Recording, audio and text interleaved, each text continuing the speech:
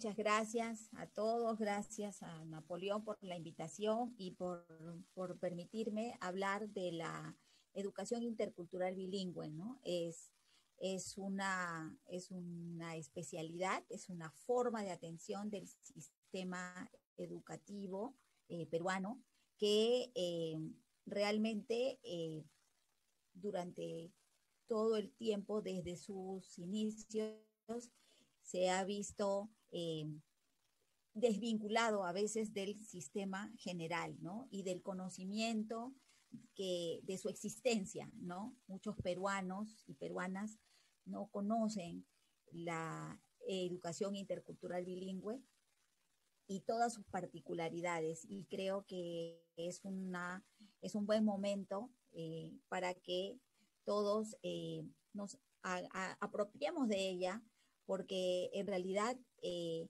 no es una especialidad y no es una educación que sea parte de otros, sino también debe ser parte de nosotros. Está eh, eh, en su desarrollo, todos somos parte de la educación intercultural, ¿no? Y eso es lo que eh, quiero contarles esta noche, ¿no? Voy a hacer una presentación, si me permiten. Vamos a ver, acá. Voy a compartir la pantalla.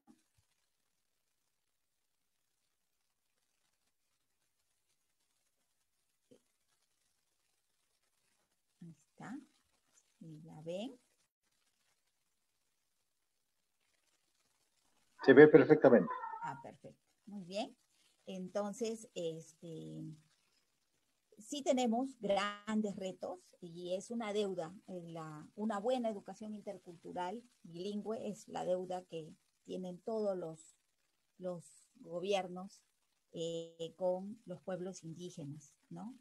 En primer lugar, reconocer que nuestra región es la región más diversa. Eh, creo que todavía no lo asimilamos, no asimilamos su alta diversidad, ¿no?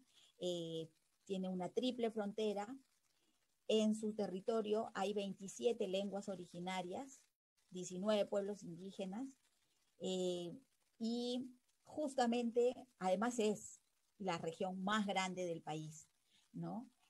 por lo tanto, es una región difícil, compleja y que requiere para, desde la mirada de un estadista, requiere una inversión grande, ¿no? Eh, la Amazonía cuesta, cuesta dinero también, y es justamente la región que menos se ha invertido, ¿no? Eh, probablemente se ha gastado mucho dinero eh, en el canon y se ha despilfarrado, pero no para sectores como salud, educación, bienestar de las personas. Atender a toda la Amazonía todavía sigue siendo muy complicado, ¿no? Y en educación más aún, ¿no? Y ya lo van a ver, van a ver por qué. ¿Qué tenemos en, en educación intercultural? ¿Qué, este, ¿Qué políticas hay? Existen, ¿sí? Tenemos una política sectorial de educación intercultural y de educación intercultural bilingüe. Son dos cosas diferentes que atienden a personas, a peruanos y peruanas distintas, ¿ya? Em, la política sectorial de educación intercultural y educación intercultural bilingüe tiene unos principios básicos que además parten desde la UNESCO, ¿no? y parten por el principio de respetar la identidad cultural del, del educando, ¿sí? que hay que brindar una educación de calidad, hay que brindar una educación pertinente que desarrolle las competencias para formar ciudadanos interculturales, es decir, para formar ciudadanos con una identidad propia, fuerte, fortalecida, totalmente definida, pero que sea capaz de relacionarse muy bien con personas de distintas culturas, que sea capaz de moverse en un ambiente sin sentir que lo están menospreciando sí, y sin menospreciar al otro, ¿no? Quitándole toda esta carga de prejuicio, de discriminación y de racismo que subyace actualmente a todo nuestro sistema. Todo el sistema peruano está cargado de un pensamiento colonial que venimos arrastrando y que justamente la educación intercultural lo que quiere es ir borrando todo ese sesgo discriminatorio, racista que existe en nuestro ADN. O sea, eso es algo que existe en nosotros y que se supone que la educación intercultural tiene que erradicarla, ¿no? Eh, entonces existe una política sectorial que apunta a trabajar la interculturalidad como parte de todo el sistema eh, educativo nacional, ¿no? ¿Cómo se aborda esta política? Como les decía, eh, es para todos los peruanos y peruanas, porque todos debemos tener una educación intercultural, pero esta educación intercultural no es igual para todos. Es para todos, pero no es igual para todos. Y eso eh, ustedes que quieren hacer todo un planteamiento deben tenerlo claro. Para los pueblos indígenas existe la educación intercultural bilingüe. Es una educación intercultural diseñada, pensada, ¿no? Desde los mismos pueblos, porque hay una diferencia fundamental. La educación intercultural bilingüe en nuestro país se ha construido por exigencia de los pueblos indígenas. No ha sido nunca históricamente una propuesta del Estado, ¿no? Lo que hizo, hace un momento conversábamos, lo que hizo el, en eh, antiguos gobiernos es brindar, por ejemplo, al ILB espacio para evangelizar y castellanizar, pero no era educación bilingüe. La educación bilingüe que se ha desarrollado en el Perú hace 30 años es producto del esfuerzo y las eh, demandas de los pueblos indígenas. Lo que tenemos ahora es justamente el resultado de, toda, de todo este proceso de educación y de, y de prácticas que ellos nos, nos han ido exigiendo, ¿no? Eh, entonces, por eso es que existe la política de educación intercultural bilingüe. No ha sido gratuita, no ha sido una, eh, una propuesta desde el Estado, que ya ahora sí lo tiene el Estado, pero eso es producto de las demandas de los pueblos indígenas. Entonces, eh, los pueblos indígenas tienen una educación propia, eh, tienen una propuesta de educación intercultural bilingüe, ¿no? Y para ellos se ha diseñado una educación intercultural bilingüe a partir de la situación sociolingüística de las comunidades y los estudiantes. Esto está plasmado en una norma, en, en resoluciones, eh, en normas técnicas. Esto ya es política desde el Estado que se tiene que desarrollar. En educación intercultural bilingüe tenemos tres formas para atender a las poblaciones indígenas. Tres formas. Y eso es importante que ustedes lo tengan claro, ¿no? La primera forma es de fortalecimiento cultural y lingüístico, es decir, es la forma en la que los niños y niñas de las escuelas, los estudiantes en las escuelas, hablan la lengua indígena como lengua materna, ¿sí? Es la lengua con la que ellos aprendieron a hablar, aprendieron a socializarse. Esa es la lengua con la que llegan a la escuela. Los niños hablan esa lengua, es la lengua indígena, como lengua materna, por lo tanto, el maestro tiene que hablar esa lengua y deben buscar un maestro que hable la lengua y que conozca la cultura de los niños. ¿Hay escuelas así? Sí, tenemos escuelas matzés, tenemos escuelas eh, que ustedes comenzaban, las ayánicas también. Tenemos el Loreto, tenemos eh, Shawi, Sawahun, One Piece, Kandoshi, Chapra, que en su mayoría son escuelas que se categorizan en fortalecimiento cultural y lingüístico. Entonces ahí, ¿cuál es la educación bilingüe que se les da?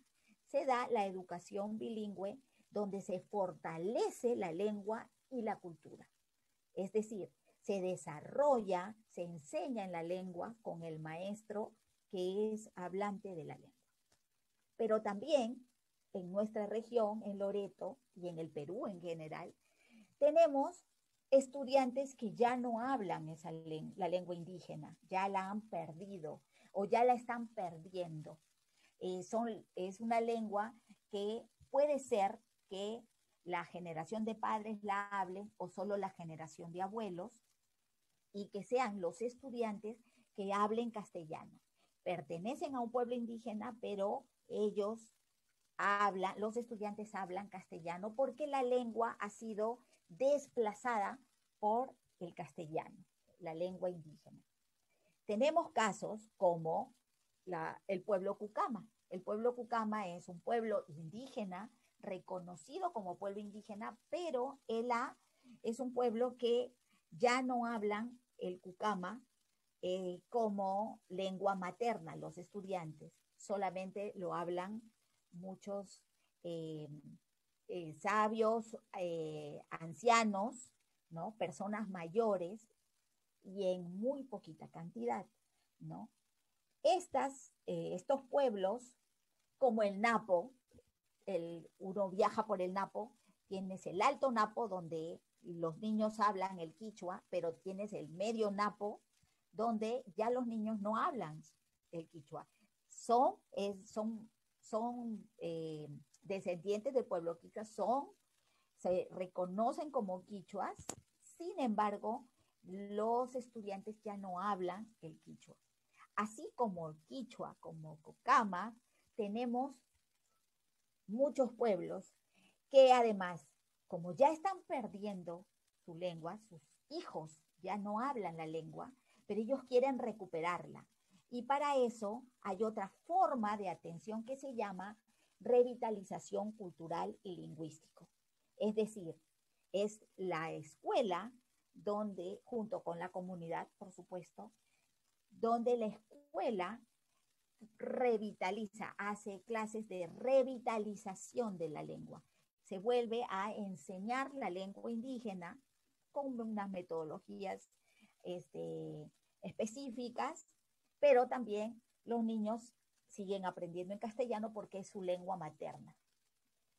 Entendamos que el Estado tiene la obligación de enseñar al niño en su propio idioma. Por lo tanto, las escuelas de revitalización, tú tienes un maestro que hable castellano, y los niños hablan castellano, ahí no se está vulnerando el derecho del niño porque el maestro habla el idioma del niño. Sin embargo, por el derecho como pueblo indígena de recuperar y de revitalizar su lengua, el Estado tiene que atendernos, porque ahí no solamente está el derecho del niño como estudiante, sino el derecho del pueblo indígena para revitalizar su lengua. ¿sí? Entonces, esta es otra forma de atención y tenemos en Loreto muchos lugares donde hay escuelas de revitalización y hay escuelas de fortalecimiento. Pero también hay otra forma de atención de educación intercultural bilingüe, que es la EIB urbana. Es la menos desarrollada, que es la educación intercultural bilingüe que se desarrolla en zonas urbanas digamos, no sé si ustedes conocen San Lorenzo, Datén del Marañón. Eh, Datén del Marañón es una provincia y está en San Lorenzo, en San Lorenzo, que es su capital, ahí eh, confluyen muchos pueblos indígenas. San Lorenzo tiene dos grandes, tres grandes colegios, dos, dos muy grandes, el centro base y el agropecuario. Ahí confluyen muchos estudiantes indígenas, ¿no? Por ejemplo, ahí se puede desarrollar una EIB urbana, es decir, una educación intercultural bilingüe donde se reconozca que cada estudiante, Chapra, Shawi, Quichua, Aguajún, One Piece, ¿no? Se reconocen y son totalmente valorados, no se invisibilizan. El problema en las zonas urbanas es que los estudiantes indígenas se vuelven invisibles. No solamente ellos, sino su lengua y su cultura. Entonces, la IBE urbana no estamos hablando de grandes ciudades solamente, estamos hablando también de centros importantes como San Lorenzo, como Contamana, donde los estudiantes también son chipivos, donde Santa Clotilde, donde todo el conjunto en ese lugar son estudiantes eh, quichuas, lugares de esa naturaleza donde se puede desarrollar una EIB urbana. Cada forma de atención, como las que les he mostrado, tiene sus particularidades y tienen sus metodologías, tienen unas propuestas generales, ¿sí? Lo que les estoy contando son las políticas, lo que existe en papel, ¿no? Y, que, es, y que es justamente eh, una demanda de los pueblos indígenas. Esta educación está propuesta para las poblaciones indígenas, pero también para el resto del país, para los peruanos y peruanas que no son indígenas, tenemos la educación intercultural para todos. Es decir, la educación intercultural es, está vista como una educación en la que todos los estudiantes, todos sin excepción, van a construir identidades plurales a partir de la afirmación de quiénes son. Yo soy mestiza, yo soy de, de Ica, yo soy de Iquitos, ¿no? A partir de la afirmación de quiénes son y respetando la diferencia, relacionándose pertinentemente con respeto con personas que vienen de culturas distintas. La idea, en realidad, es que tiene que haber una educación intercultural bilingüe para poblaciones indígenas porque necesitan trabajar su lengua, necesitan trabajar su cultura, pero también necesitamos una educación intercultural para todos los peruanos que nos permita comprender al otro, que, nos permita posicionarnos, definir quiénes somos como, como individuos, porque para tú poder querer al otro y reconocer al otro, necesitas saber quién eres tú, ¿sí? El 90% de la población iquiteña tiene orígenes indígenas. Todos, todos los, todos los que somos Iquitos tenemos orígenes indígenas.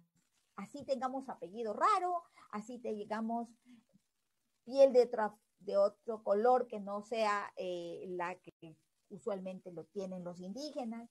Todos tenemos unos orígenes indígenas, ya sea de nuestro tatarabuelo, porque vinieron de por acá.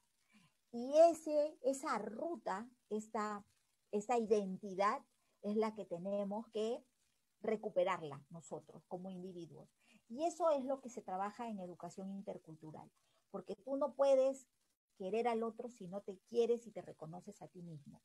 En ese reconocimiento individual hay un reconocimiento colectivo, pero además, esto que hablábamos hace un rato, tenemos que ir despercudiéndonos de ese pensamiento colonial, de estos prejuicios, de estos estereotipos, de estas situaciones de discriminación, porque debemos entender que justamente un aspecto importantísimo de la interculturalidad es el pensamiento crítico, es decir, el que nosotros interpelemos todas nuestras relaciones, interpelemos nuestros sistemas de vida, nuestros sistemas económicos, nuestros sistemas sociales y que a partir de ahí podamos construir nuevas identidades y nuevas relaciones, ¿no? La idea es que en el aprendizaje de la cultura del otro nos enriquez, podamos enriquecernos y podamos construir una ciudadanía intercultural, ¿no? La idea es formar ciudadanos interculturales en este país. Esto este, tiene, vuelvo a repetir, dos frentes. La educación intercultural bilingüe para pueblos indígenas y la educación intercultural para todos. Estas confluyen, estas se enriquecen. Todos debemos ser interculturales, pero el tratamiento de la educación es distinta porque evidentemente hay cada quien tiene sus particularidades. Entonces, ese es el reto, eso es lo que tenemos hasta ahora, ¿no? En Iquitos, en Loreto, vuelvo a decir, son 24 lenguas indígenas identificadas que son atendidas o deben ser atendidas por el ministerio. La, ¿Cómo es la atención? De regular hacia abajo, hasta ahora, ¿no? Porque si tuviéramos buena atención, estaríamos muy bien y no lo estamos, ¿no? Eh, en, el, en nuestra región, nosotros tenemos a estos pueblos que están en la pantalla, ¿no? Y que deben ser atendidos en educación intercultural bilingüe. ¿sí? Me voy a detener a hablar específicamente de educación intercultural bilingüe ahora, ¿no?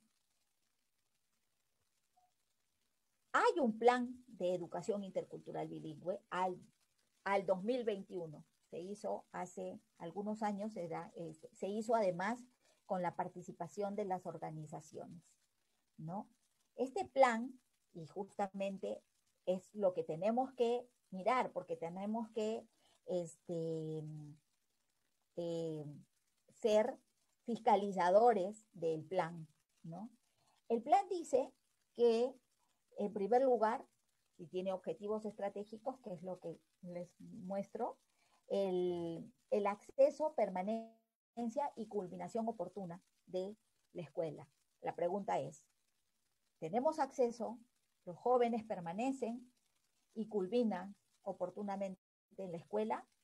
Ustedes se lo contestarán, ¿no? Otro objetivo estratégico del plan es el currículo pertinente y propuesta pedagógica IB. El Ministerio de Educación tiene una propuesta pedagógica, pero es una propuesta macro, la pregunta es, ¿nuestra región tiene currículos pertinentes y tiene propuestas pedagógicas de educación intercultural bilingüe ad hoc para las comunidades indígenas? No una, sino varias. Estamos hablando de 24 pueblos indígenas, estamos hablando de una diversidad. Una sola propuesta no es suficiente. ¿La hemos mirado en su complejidad? No, tampoco. Formación y desarrollo docente EIB es el tercer objetivo. Tenemos maestros apropiados, formados adecuadamente para atender la EIB. Cuando hablamos de EIB, no hablamos solo de maestros indígenas que hablan la lengua, estamos hablando de una especialidad, estamos hablando de un dominio que debe tener un profesor, debe tener competencias de, de docencia en la especialidad intercultural bilingüe. Tampoco tenemos, ya van a ver, les voy a dar unas cifras. Y por último, tenemos el, la gestión. Hay. ¿Me pasó? Aquí. Y por último tenemos la gestión descentralizada y la participación social. Realmente eh, nuestras UGELES son, tienen niveles de autonomía para desarrollar este, propuestas curriculares, propuestas eh, que logren llegar a las comunidades, por un lado.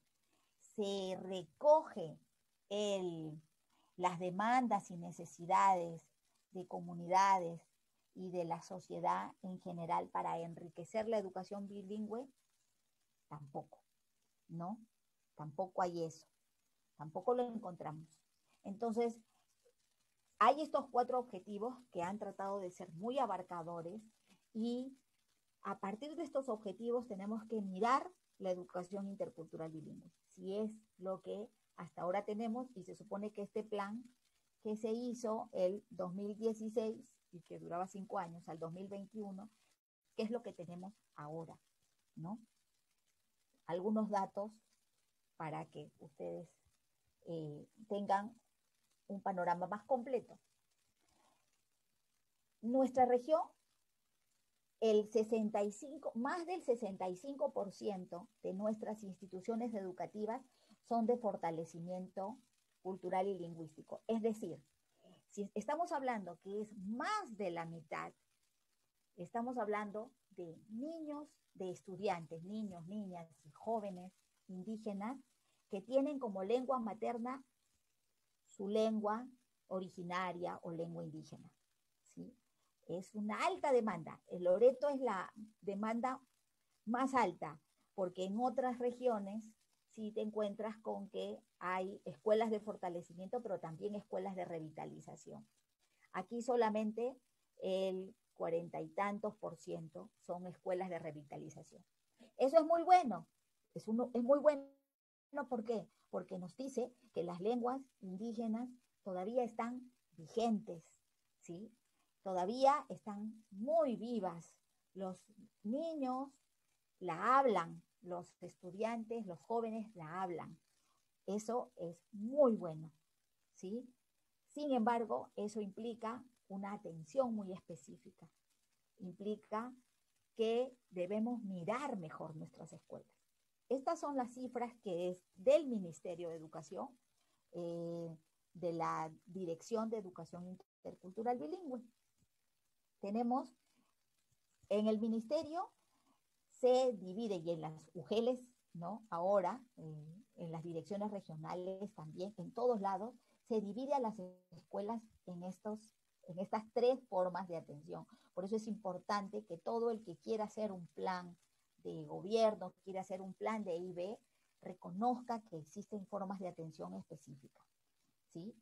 Eh, tenemos instituciones de fortalecimiento, estas son los, las cifras, eh, tenemos instituciones de revitalización, que siempre son menos, y las de IB urbano, que en realidad no se han atendido como debe ser, ¿no? En general, eh, esta es la data del ministerio, pero podemos decir, porque hay estudios también, que no se desarrolla una secundaria intercultural bilingüe tampoco, ¿no? Como debe ser, no no existe. Aquí en la data del ministerio hablan de escuelas de, secundaria, eh, sin embargo, no es que se desarrolle una educación intercultural bilingüe en la secundaria como debe ser, ¿no? Esta este, em, es una data interesante porque nos, nos permite ver cuántos estudiantes y cuántas escuelas y cuántos docentes tenemos hoy en día en educación intercultural bilingüe, ¿no? Sin embargo, aquí viene el terror. Eh, esta es la data también del ministerio que da cuenta de los maestros que tenemos, ¿no? Tenemos un total, allí están las cifras, eh, número de plazas ocupadas por docentes egresados sin título pedagógico, que son 544, bastante. Eh, eh, las plazas ocupadas por docentes con estudios pedagógicos no concluidos, que son 687, es más. Plazas ocupadas por docentes con estudios no pedagógicos, ahí, ahí encontramos ingenieros, agrónomos, hay, hay, un montón, biólogos que hacen de maestros, sobre todo en, en, primaria, cuando no encuentran trabajo, eh, plazas ocupadas por docentes con secundaria completa, y ahí tenemos esto que hace un rato hablábamos, que muchas son este, jóvenes egresados de la secundaria y que eh, se les toma como maestros porque hablan la lengua de los estudiantes tenemos plazas ocupadas por docentes monolingües. Aquí, ojo con esto, tenemos 1.040 maestros que trabajan en inicial y en primaria, cuya lengua es castellano y no hablan la lengua de los estudiantes. ¿Qué aprenden los estudiantes? Difícil que puedan aprender algo con un maestro monolingüe, ¿no? Tenemos 695 maestros que se necesitan formar para que puedan este, ser maestros bilingües. En general y en total, para poder cumplir y cerrar esta brecha en la formación inicial docente, se necesita en Loreto 3.163 maestros formados en EIB, que es lo que no hay. Necesitamos 3.163 docentes en EIB. Eh, esa es, es el vacío. Cuando hablamos de calidad educativa, cuando hablamos de pertinencia educativa para los estudiantes, no podemos desligarnos de la otra cara de la moneda que es la formación docente. ¿sí? Eh, en Loreto tenemos un déficit de docentes y se ha cubrido con profesores de secundaria, se ha cubrido con docentes monolingües, se ha, cubierto, perdón, se ha cubierto con docentes monolingües, con docentes de secundaria, con docentes con otras carreras pero no es el ideal. Eh, la especialidad IB, y lo voy a repetir y no me voy a cansar de decirlo, porque yo vengo de una institución formadora de maestros, este, la especialidad de IB tiene exigencias técnicas muy específicas. El maestro de IB debe tener un conocimiento del tratamiento de las lenguas, tanto del castellano como de la lengua indígena. Debe tener un conocimiento profundo de ambos idiomas. Debe tener un manejo sistemático de las, prácticas culturales de su pueblo, de otros pueblos, de la cultura eh, de la sociedad nacional. Debe tener un manejo metodológico de las lenguas, del manejo metodológico de las este, de, de, diálogo de saberes, es decir, el maestro tiene que ser mediador de prácticas culturales, de conocimientos ancestrales y mezclarlos y, no, no, mezclarlos no es la palabra ideal, pero eh, tratar de lograr que se articulen y que se lleven bien con otros conocimientos, porque él, él es un mediador. Entonces, el maestro eh, bilingüe, intercultural, es un maestro con competencias muy, muy específicas. Eso es clarísimo, eso está bastante documentado en, todos los programas de formación docente, en la especialidad de IB, en América Latina sobre todo y en otras partes del mundo. Entonces, no cualquiera puede ser maestro IB. A veces pensamos que porque es del pueblo puede ser. A veces pensamos que porque es, este, ah, yo soy loretano, entonces yo puedo hacer. No.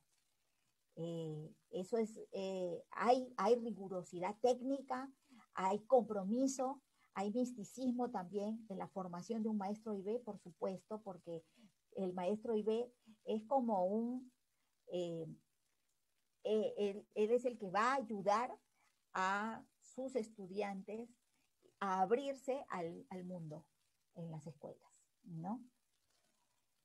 ¿Qué sucede en Loreto? En Loreto tenemos una educación monocultural. Desde a veces, desde nuestro propio PER, nuestro propio eh, proyecto educativo regional, mira un pedacito de la región y necesitamos abrirlo, abrirlo mucho, ¿no? Y parte de eso tenemos que abrirnos nosotros, ¿no? Eh, necesitamos muchas propuestas curriculares diversificadas para la primaria, para el nivel inicial, para la secundaria, pero mirarlo todo desde un conjunto de EBR, de educación básica regular. Y para eso necesitamos también un currículo de formación docente propio, ¿no? necesitamos una mirada general. Hoy en día eh, la pandemia nos volvió a lapiar realmente en toda su dimensión, porque visibilizó las carencias, sobre todo de, los estudiantes indígenas. Eh, ya, se han, ya, hay, ya hay estudios y hay data muy específica cómo lo han sido los estudiantes indígenas del Perú y del mundo, de América Latina sobre todo, y en otros sectores del, país como de, del mundo, los estudiantes indígenas han sido los que menos han aprendido, los que no han tenido cobertura, no han tenido desarrollo de, eh, oportunidad de eh, acceder a los programas eh, de educación a distancia diseñados por el país, ¿no? Aprendo en casa ha sido, eh, si bien ha intentado llegar a través de la web, de la televisión y de la radio para las poblaciones indígenas, eh, ha intentado llegar, pero en el Perú tenemos un millón de estudiantes indígenas. Aprendo en casa a través de la radio, eh, en diferentes lenguas y en castellano como segunda lengua, solo atendió a 200.000 estudiantes, según la Defensoría del Pueblo, en un informe que hizo la Defensoría del Pueblo el año pasado. Entonces, estamos hablando que el 80% de estudiantes no accedieron a, a los programas de Aprende en Casa. El 80% de estudiantes indígenas. Eso es durísimo. Si antes teníamos deficiencias que llegar a los estudiantes con pertinencia y calidad, hoy en día con la educación a distancia, la brecha creció, se agrandó y es una situación muy crítica en la que vive este, nuestro país y la que viven las poblaciones indígenas.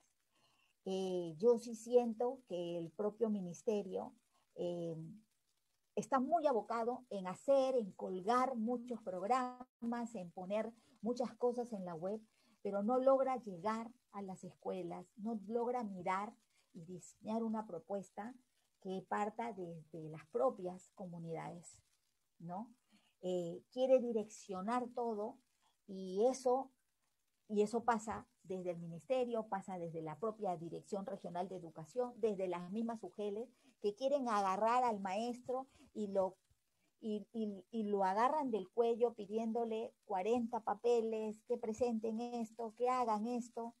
Y el propio profesor se ve en la disyuntiva de o me vuelvo creativo y atiendo realmente a mis niños o me pongo a llenar todos los papeles que me están pidiendo a buscar todas las evidencias que me están pidiendo. Entonces, es, es el maestro el que se ve en esa disyuntiva de realmente le meto cabeza y atiendo a mis estudiantes como corresponde o hago caso a mis superiores y les entrego los papeles que quieren. Eso, en esa disyuntiva han estado los maestros el año pasado y este año, me imagino, por lo que puedo ver, van a estar eh, igual, ¿no? Esperemos que haya un nivel de, conciencia, un nivel de, reflexión, pero si no la hay, la propia sociedad civil es la que tiene que exigir, ¿no? Tiene que exigir que las propuestas de educación a distancia deben ser más innovadoras, deben ser más creativas y deben partir desde las mismas comunidades. Dejar flexibilidad a los maestros. Los maestros han demostrado mucha creatividad en esta pandemia, pero realmente las autoridades no, les, no, los dejan, ¿ah? No, no los dejan. ¿Eso por qué? Nos, tenemos ausencia de políticas educativas con enfoque territorial. Ese es el problema, ¿no? Eh, hay mucho miedo de que el... Todos tienen miedo porque como hay un sistema corrupto que va por todos lados y, todos desconfiamos de todos, entonces hay un, hay un, hay una, un reglamento que, y hay una ley muy, muy implícita de, no, no, yo tengo que darles todo porque los demás o hacen mal o, lo, o, o, van a hacer la trampa, ¿no? Nuestra, nuestro, nuestra política tramposa ha inundado todo nuestro sistema y desconfiamos unos de otros. Entonces, no existe una mirada del territorio desde una gestión intercultural, una gestión autónoma, ¿no? Las, las direcciones regionales quieren agarrar y, mandan a las este, unidades de gestión local. Y las unidades de gestión local agarran al profesor y quieren direccionar toda su acción, eh, todo su acción. Y es en realidad la, eh, es un cuento de nunca acabar, ¿no? Eh, desconfiamos porque, porque eh, realmente las históricamente, pues sí, siempre que hay, se ha intentado dar cierta autonomía, no se ha logrado. Que no ha pasado con EIB, porque les vuelvo a repetir, todo lo que nosotros sabemos de educación intercultural bilingüe y todo lo que se ha avanzado de educación intercultural bilingüe es producto del esfuerzo colectivo de maestros indígenas, de comunidades, de dirigentes, de sabios, que han ido construyendo la educación intercultural bilingüe. ¿sí? Lo único que ha hecho el ministerio desde el 2011 fue recoger toda esa, esa experticia desarrollada a nivel nacional en todos los programas de IB y ponerlas en blanco y negro y sacar la documentación, la reglamentación, ¿no? Entonces, eh, la historia en EIB nos ha demostrado que los, los actores sociales pueden construir sus propias propuestas curriculares, pero ahí es un proceso, ¿no? Necesitamos por eso políticas educativas con enfoque territorial. Eh, necesitamos mirar a los aprendizajes, que es ya de la parte curricular, eh, mirar los aprendizajes eh, a partir de lo que, de las vivencias y experiencias de nuestras comunidades, desde una mirada obviamente crítica, desde una mirada intercultural, una mirada productiva, eh, necesitamos que los aprendizajes sean para la vida, ¿no? Eh, aprendizajes que nos permitan construir conocimiento. Eso que hace un momentito hablaba y decía, ¿por qué es importante la lengua? La lengua no solamente es importante como medio de comunicación. La lengua y las lenguas indígenas encierran en sí mismas un conjunto de sabidurías de conocimientos y prácticas que no, que no son todavía reconocidas e identificadas por otras sociedades. Eh, cuando nosotros hablamos de, que somos un país diverso, no solamente nos referimos a las formas de hablar, a las diferencias este, culturales, y sociales que existen, sino también, y es lo más importante, sino también que tenemos un conjunto de conocimientos que no lo tienen los otros. Los conocimientos, estas sabidurías sobre el territorio, sobre filosofía, sobre, sobre plantas, sobre seres humanos, sobre espacios, sobre astronomía, sobre diferentes ámbitos que la ciencia las ha catalogado y ellos tienen otras formas de comunicación eh, desde el punto de vista epistemológico. Eso, eso es lo más rico que tenemos y es lo menos atendido. ¿sí? Esa, estas, estos conocimientos que a la larga pueden hacer que nos volvamos un país creativo, innovador, de avanzada, es la que no las consideramos.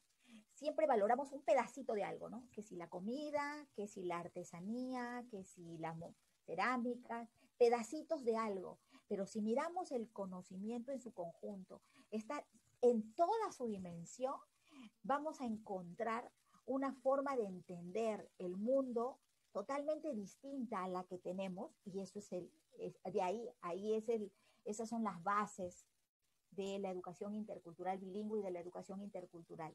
Que el otro entienda una forma distinta de ver el mundo y que se adentre a ellos a través de la lengua, a través de ciertas prácticas.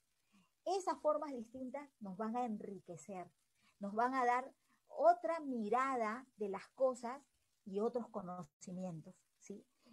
somos un, país que ha construido tecnología, somos un país que ha construido conocimientos a lo largo de nuestra historia, pero nos, nos lo han negado por esta colonización, por esta, este, esta educación aplastante, avasallante, no nos permite ver que nosotros hemos construido muchos conocimientos. Eh, entonces, eso es la riqueza de la educación intercultural bilingüe y de la educación intercultural. Ahí está el reto, ¿sí? La mirada más allá. Es muy difícil para muchos entenderlo, pero si nosotros como loretanos, como, como habitantes de la región, somos conscientes de nuestra diversidad y de la riqueza que tenemos más allá de, de la lengua, más allá de las prácticas visibles, es lo que no vemos, este, que es el pensamiento, que es la cosmovisión, que es el entendimiento del mundo, creo que vamos a ganar mucho, ¿no? Y vamos a ganar mucho para el resto del país. Entonces, ahí, y para terminar, tenemos que todo eso necesitamos, y ya lo dije hace un momentito, maestros con formación y prácticas pedagógicas este, diversas. la formación que tenemos ahorita en, en nuestra región y en el país es monocultural, siempre mirando una cultura, siempre mirando, y miramos a los indígenas, bueno, básicamente como este, accesorios interesantes para este, que podemos, podemos rescatar. ¿no? Muy, nuestra mirada es muy folclórica, ¿no? Y ahí, y este es uno de los grandes problemas en nuestra propia región. La mirada de nuestras autoridades hacia los pueblos indígenas es una mirada muy folclórica. ¿sí? Entonces necesitamos maestros con eh, prácticas eh, diversas. La formación de maestros no solamente debe ser para los maestros indígenas, sino para otros maestros. Hace un momento les decía, yo soy egresada del Pedagógico Loreto. Hemos yo me formé con un currículo particular, el currículo del profesor Gabel, que se llamaba Escuela Árbol en Acción. Era un currículo propio y, nos abría, nos permitía reconocer la Amazonía en, desde una mirada más profunda. Es, necesitamos currículos particulares para los maestros y hay que fortalecer a las instituciones formadoras. Lamentablemente, ahora la SUNEDU solamente licenció a la UNAP. Tenemos otras universidades, la UPC, por ejemplo, que no se logró licenciar a pesar de los esfuerzos que ésta tuvo. Eh, entiendo que hubo muchísimo trabajo del equipo, de los equipos en la universidad y que inexplicablemente no fue licenciada. Tenemos pedagógicos que hay que meterles, este, eh, inyectarles de, presupuesto, inyectarles de eh, asesores para que se levanten. No puede haber una buena educación si no hay maestros, ¿no? Se necesita formar maestros realmente con una mirada intercultural, ¿no? Eh, y no solamente para Iquitos, para todas las regiones, para, para, todo, para todas las provincias de, la, de, de Loreto, ¿no? Para Contamana, para Datén, para todos. Los pedagógicos que hay necesitan ser fortalecidos. ¿no? Entonces, eh, este es un poco lo que, la mirada de la educación intercultural bilingüe que, este, que tenemos, es lo que hasta ahora vamos, hemos ido alcanzando y estos son los retos, ¿no? Y bueno, lista para, para empezar el conversatorio. Y voy a tratar así rapidito de recoger, recogiendo todos los temas que abordaron, ¿no? Sobre cómo las municipalidades eh, pueden asumir roles en, la educación. Les cuento, hace dos años la experiencia de la municipalidad de, en la zona machiguenga, en, en este, la, la, municipalidad eh, asumió el, el, ganó un presupuesto y hizo un proyecto interesante sobre este, de asistencia técnica a los estudiantes, a, los, a las escuelas y logró que eh, ellos, uh, para los machiguengas de la zona de, Camisea, logró que eh, les dieran el presupuesto y pudieran hacer el monitoreo, la asistencia técnica a maestros machiguengas eh, en comunicación y en matemática, por ejemplo. ¿no? Y además esta municipalidad logró que logró hacer un currículo muy específico para, la, para los machiguengas en la zona del Cusco. Esa es una experiencia interesante, muy chiquita y que lo hizo una municipalidad. Entonces, sí es viable lo que decía el profesor Alberto, ¿no? Eh, sobre las lenguas, eh, una cosa, un detalle importante y es que nuestro país, la educación intercultural bilingüe en nuestro país asume la política de educación bilingüe de mantenimiento y desarrollo de las lenguas. Mantenimiento y desarrollo. Es una obligación. ¿Eso qué implica? Implica que las lenguas no solamente tienen que mantenerse, es decir, hay que lograr que los hablantes lo, este, sigan hablando la lengua, sino que las lenguas se desarrollen. Es decir, que pueden pasar a otros planos como el de la escritura todos sabemos, nuestras lenguas originarias o indígenas no han tenido, tradicionalmente no han tenido escritura y el Estado tiene la obligación de diseñar políticas para que estas lenguas se sigan desarrollando. Tenemos una ley de lenguas que justamente se sacó en el año de desarrollo de las lenguas indígenas del 2019, 19, 18. Este, y esas, esa ley de lenguas es la que también da posibilidades de que las lenguas se utilicen en distintos espacios. ¿Eso qué, qué, este, qué implica? Que, por ejemplo, la RENIEC debe tener un padrón que en lenguas indígenas, que el Ministerio de Justicia tenga este, traductores indígenas. Eso significa que el Ministerio de Cultura tenga, haga, diseñe un plan de traductores, que es lo que ha hecho, capacitar a muchos traductores que puedan ser trabajadores en distintas instituciones del Estado. Eh, haya eh, salud, tiene que ser desde una mirada intercultural y debe ser una persona hablante de una lengua indígena, puede ser atendida por un personal de salud que le explique en su lengua cómo se siente, qué debe ser, cómo debe ser su tratamiento, etcétera. Debe ser atendida. La ley de lenguas es importante porque obliga a todas las instituciones del Estado a diseñar estrategias para atender a nuestros este, peruanos y peruanos que hablan eh, una lengua indígena en su propia lengua.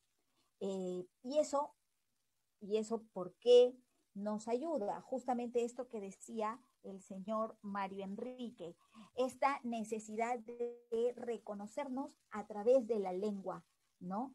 El que nosotros conozcamos. Y de ahí, y cómo uno va a ser totalmente sensible al, al, al otro y a su forma de hablar, en la medida en que seamos y estemos formados eh, de manera intercultural.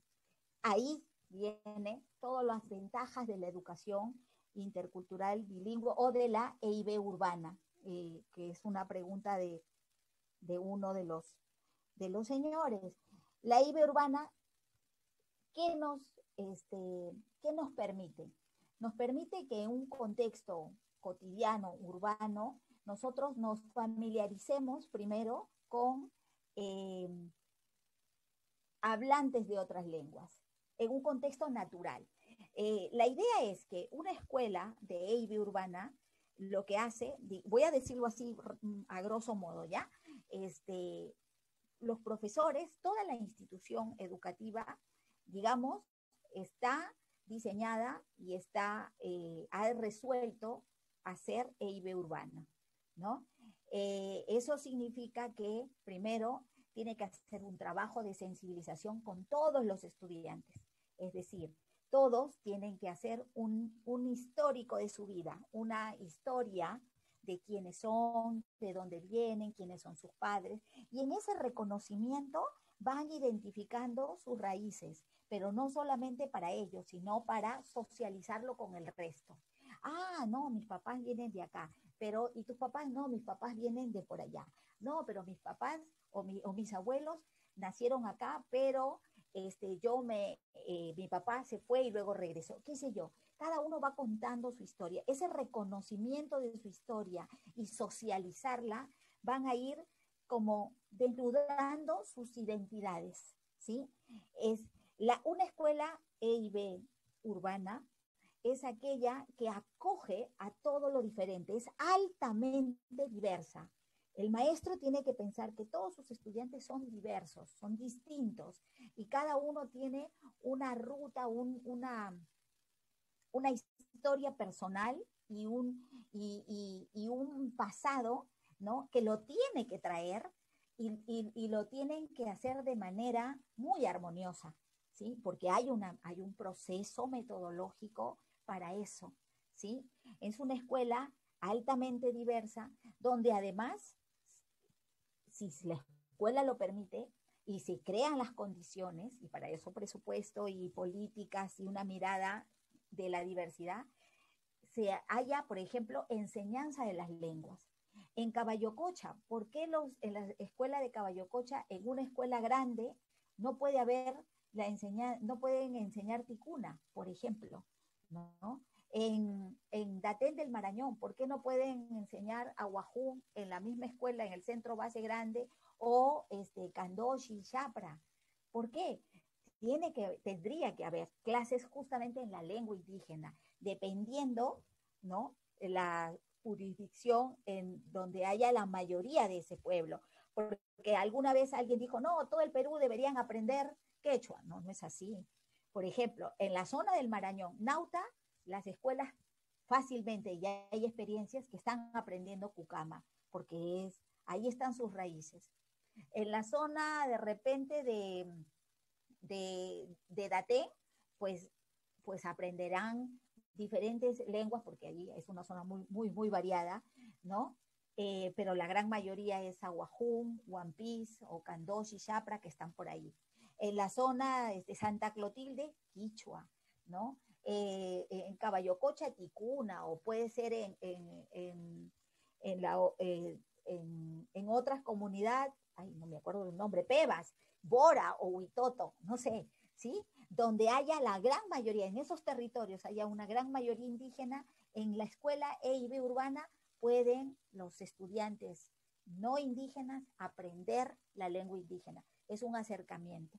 Eh, en realidad, sí hay hay mucho que pensar, mucha, eh, eh, mucha cabeza que meterle a todo este asunto de EIB urbano, porque es la que nos va a alimentar en cuanto al desarrollo de unas competencias ciudadanas interculturales. No hay muchas experiencias, es una forma de atención que está en el papel, ¿no? Está en el papel, no hay, están desarrolladas, el ministerio dice que hay 14 instituciones EIB e, e urbanas en Loreto, que yo, reconozca, porque he estado tratando de hacer mis sondeos, no es que se han desarrollado plenamente, solamente ha habido pilotos, pero es una buena estrategia que nos va a permitir acercarnos a las lenguas, a las culturas, a las cosmovisiones entre todos, ¿no? Eh, eso también eh, por una cosa que decía el, profesor Jorge sobre las, la mirada que, tenemos, que tienen los maestros de, sus estudiantes, de la comunidad, ¿no? En EIB tenemos un, por eso les decía, y he sido bastante enfática en que EIB es una especialidad y hay procedimientos técnicos, hay, hay protocolos que los maestros, un maestro debe seguir, ¿no? La caracterización de su entorno es fundamental para poder, este, para poder trabajar. El maestro tiene que estar capacitado para leer su entorno, leerlo totalmente, ¿no? Leerlo, asimilarlo y a partir de ahí diseñar una propuesta curricular pertinente. Ese es el procedimiento, ¿sí? Y para eso se necesita metodologías, para eso se necesita estrategias, se necesita formación, capacitación, ¿no? Si los maestros no hacen, agarran su currículo, su DSN, su currículo nacional ahora, lo agarran y lo siguen como debe ser, es porque no saben qué hacer, ¿no? Y, y ahí es el gran vacío que nosotros tenemos, ¿no? Tenemos, en la EIB tenemos un vacío fundamental que es la atención a, las, a los niños y niñas con capacidades diferentes. No tenemos, el, el Sistema Nacional sí tiene una política para trabajar con los niños y niñas con capacidades diferentes, habilidades distintas, pero en EIB no se ha hecho ese trabajo todavía, respondiendo a la pregunta del, del profesor, ¿no? Con respecto a la UNAP, la UNAP sí, efectivamente, no es una cuestión de dinero. La UNAP es autónoma, no es como los pedagógicos que necesitan, tienen al ministerio que está ahí detrás, encima de su plan curricular. La UNAP es autónoma, es independiente y sí ha, sí ha tenido su filial en Caballococha, formando maestros CIB y ahora forma maestros con su programa de profesionalización porque como les decía, les decía hace un momento, es un paliativo, o sea, agarras a los maestros y los profesionalizas porque no tienes maestros. Tenemos tres mil y pico de maestros que necesitan ser formados, entonces la profesionalización es una manera rápida de formar maestros. Pero ahí va la, la crítica muy, muy constructiva del profesor que habló, como la UNAP siendo una universidad autónoma que puede decidir su plan de estudios, tiene dificultades en plan de estudios. Ahí hay un problema de plan de estudios, no más. No, hay, no es otro el problema, porque tú tienes que diseñar tu plan de estudios ad hoc para ese grupo humano, que en este caso son maestros y cunas, ¿no? Entonces, sí, este, sí hay como como situaciones, nos, nos cuesta salir de nuestra zona de comodidad. Si hay algo que este, particularmente eh, eh, nosotros hemos aprendido en Formaviap es que, este, y hemos hecho muchos currículos por pueblos, para diferentes pueblos, este, era que teníamos que salirnos de lo que habíamos hecho anteriormente y había que otra vez rediseñar, había que otra vez replantear, había que otra vez interpelar lo que habías hecho. Creo que esta práctica de reflexión, acción y reflexión permanente eh, eh, tiene que ser una constante y es una constante en la educación intercultural bilingüe en general. Este, la, la gente que, los que trabajamos en EIB, siempre estamos cuestionando lo que hemos ido haciendo, porque además las propias comunidades tienen la posibilidad de, cuestionar, porque nosotros no podemos hacer avanzar si es que no miramos a las comunidades y miramos a los maestros bilingües. Los maestros bilingües son, digamos, el, referente permanente, por lo menos en la práctica de, de, nosotros, los que trabajamos en EIB, ¿no?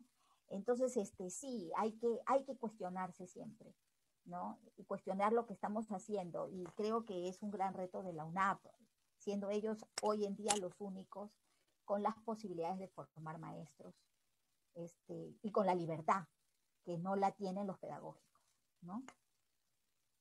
Creo que sí agarré todo lo que me